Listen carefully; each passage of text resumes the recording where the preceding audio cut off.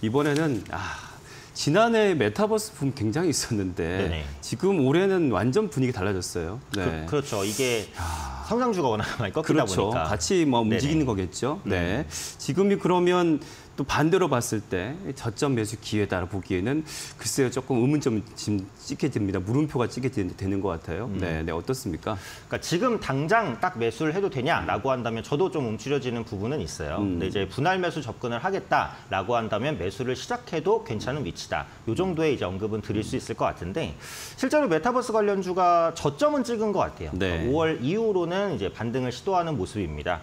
타이거 메타버스 지수 같은 경우 5월 저점 대비 10% 정도 네, 반등을 보였고요. 최근에 국내 증시도 물론 또 흐름이 그렇게 좋지는 않, 않습니다만 또 저점을 더 낮추는 흐름은 아니기 때문에 하방 경직성은 강한 것 같아요. 그동안 낙폭이 컸었던 뭐 메타버스주, 게임주 이런 성장주들이 저점을 찍고 살짝이나마 올라오는 모습을 보이다 보니까 어, 같이 이제 투자 심리가 개선될 가능성이 열렸다라고 보시면 되고 기관 외국인의 수급이 조금 개선이 됩니다. 네. 메타버스 관련주, 관련 ETF에도 어, 기관 외국인의 매수가 5월 달부터 들어오는 흐름이니까 이 부분도 주목해 보시면 좋을 것 같고요. 네. 또 이게 있어요. 그러니까 이게 증시가 급락하기 전에 강세를 보였던 섹터가 뭐냐. 그러니까 이 부분을 살펴볼 필요가 있는데 메타버스 주가 진짜 강했어요. 음. 그렇죠. 그러니까 메타버스 게임주 활황 보이다가 증시 꺾이면서 이제 완전히 무너졌습니다. 네, 네. 이런 패턴인데 보통 이런 경우 지수의 재반등이 시도가 되면 지수가 급락하기 전에 강했었던 섹터가 먼저 올라오는 경향이 있습니다. 네. 그래서 이런 경향들을 파악할 때는 아, 지수가 올라올 때 또 가장 먼저 봐야 되는 섹터도 음. 뭐 메타버스를 비롯한 성장주니까 이 부분도 한번 참고해 보시면 좋을 것 같아요. 네.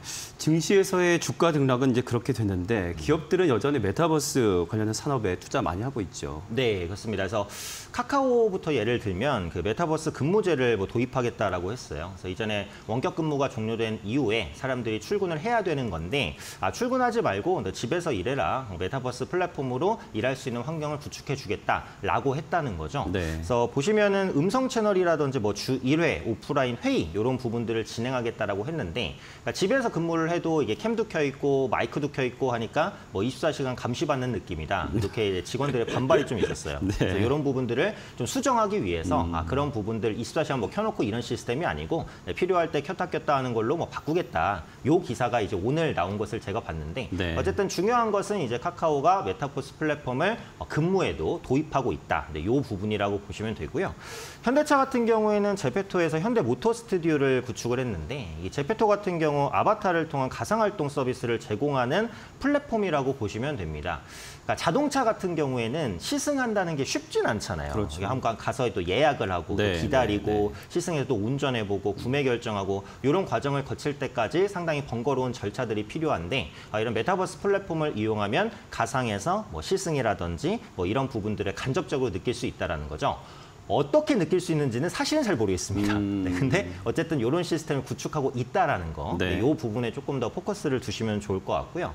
지금 정부에서도 나서고 있죠. 네. 지금 과기정통부 같은 경우 메타버스 개발자 확충을 본격적으로 하고 있습니다. 지금 메타버스는 시장 성장 속도를 전문 인력이 따라가지 못합니다. 어, 네. 메타버스 전문가라고 할 수 있는 인력이 한국에 100명도 안 돼요. 아유, 그런 만큼 네. 어, 전문 인력에 대한 육성이 필요하기 때문에 어, 정부의 또 지원도 메타버스 관련주의 투자 심리에는 긍정적일 수 있다라는 부분 생각해 보시면 좋을 것 같습니다. 네. 뭐 IT 쪽도 그렇고 뭐 다 연결돼 있으니까 인력난은 다 모두 다 지금 글로벌적으로 힘든 상황인 것 같습니다. 네네. 서로 모셔가기를 하고 있더라고요. 자 끝으로 그러면 메타버스 관련주 그럼 지금 매수 타이밍은 어떻게 봐야 될까요? 그래서 이제 메타버스주를 음. 매수하신다면 어쨌든 분할 매수를 하시긴 하셔야 될 것 같아요. 음, 한 네, 번에 네. 들어가긴 좀 어렵습니다. 그렇죠. 네. 시장 환경이 안정되진 않았고 시장이 바닥을 찾았다라고는 생각하지만 여기서 V자 반등 어렵다라고 보기 때문에 음. 분할 매수 하락할 때마다 모아가시는 전략 짜시면 괜찮을 것 같고요.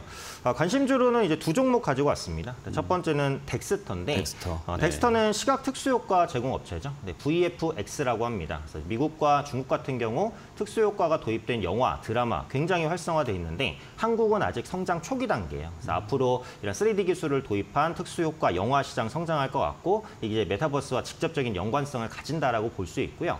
애플이 그 MR 헤드셋을 출시할 것 같아요. 그러니까 가상현실과 증강현실을 이제 결합한 헤드셋이라고 보시면 되는데 네. 올해 말에서 아마 내년 초 정도 사이에 좀 출시되지 않을까 싶습니다. 그래서 애플이 메타버스 사업에 본격적으로 뛰어든다면 메타버스 컨텐츠를 또 개발하는 업체도 수혜를 받을 수 있으니까 어, 이 덱스터에도 수혜가 갈 수 있다 이렇게 판단하고 있고요. 네. 어, 두 번째로는 이제 NHN 벅스입니다. 어, NHN 벅스는 싸이월드에도 BGM을 제공하는 업체인데 네. 최근에 싸이월드의 사진첩이 네, 99.9% 복원이 됐습니다. 그렇죠. 제가 네. 오랜만에 한번 들어가서 보니까 또 옛날 사진들 어, 좀 나오고 뭐 네, SNS 많이 올라오더라고요. 네. 맞아요. 뭐 흑역사 소환한다 뭐 이러면서 맞아요, 맞아요. 어, 옛날 사진들 많이 나왔는데 어, BGM을 공급하는 업체니까 메타버스와 뭐 직접적으로 딱 연관성 없다 이렇게 볼 수도 있지만 어쨌든 싸이월드가 지금 메타버스 플랫폼을 적극적으로 도입하고 있는 것은 어, 맞아요. 그래서 네. 관련주인 뭐 다날이라든지 이런 종목군들이 움직일 때 같이 움직일 수 있고 지금 워낙에 좀 낙폭이 컸었기 때문에 네. 반등할 수 있다라고 보니까 이 두 종목 한번 네. 참고해 보시면 될 것 같습니다.